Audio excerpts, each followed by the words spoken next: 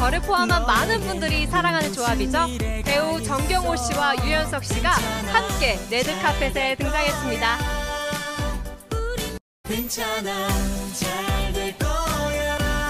저를 포함한 많은 분들이 사랑하는 조합이죠. 배우 정경호 씨와 유연석 씨가 함께 레드카펫에 등장했습니다.